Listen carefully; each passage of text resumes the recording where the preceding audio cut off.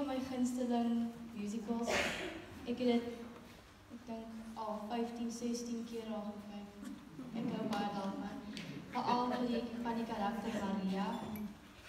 So, okay. Ek gaan vir julle my, my die liedjie wat ek nou gaan sing is die eerste liedjie wat Maria in die musical sing, The Heels Are Alive. The sound of music.